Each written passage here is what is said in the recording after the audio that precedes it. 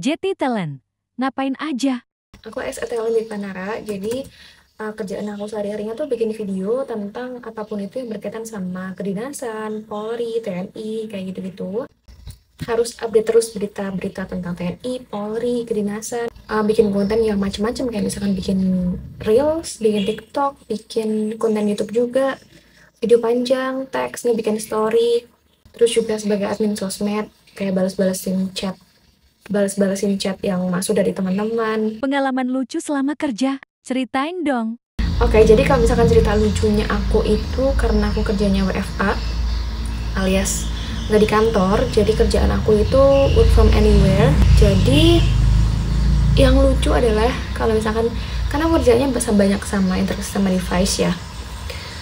Ketika udah apa namanya yang bikin lucu itu udah siap semuanya, udah prepare kedebak kedebuknya oh. ya kan?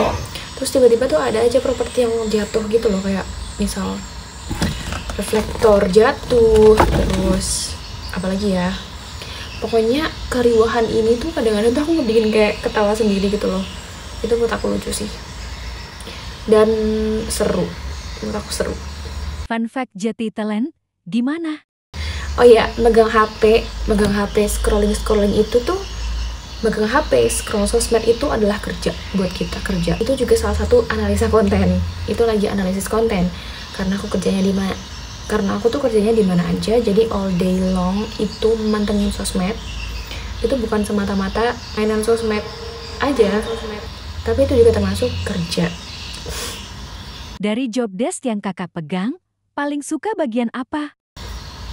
Dari job desk yang paling aku suka itu bagian editing. Biasanya kalau misalkan editing itu tuh kayak tiba-tiba ada muncul ide baru yang nggak diduga-duga. Itu tuh tiba-tiba tuh kayak oh kayaknya pengen diginiin deh pengen di elevate kontennya gitu loh.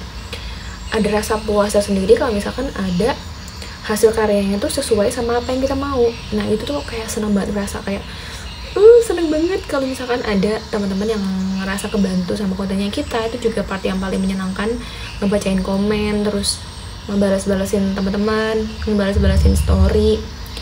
Ada teman-teman yang ngasih testimoni itu seneng banget luar biasa.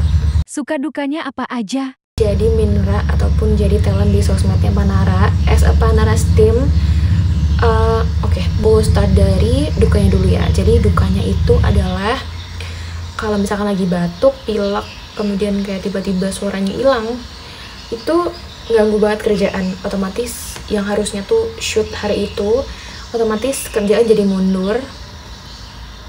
Terus dukanya lagi kalau misalkan memori penuh ya kan? Kalau misalkan memori penuh itu harus harus ngehapusin dulu harus mindahin dulu pakai triut tools seribet seribet itu. Dukanya lagi adalah apa ya pokoknya kalau misalkan tenggorokan lagi kering lagi gatel gitu sih. Kayak lebih kayak nggak bisa ngomong aja.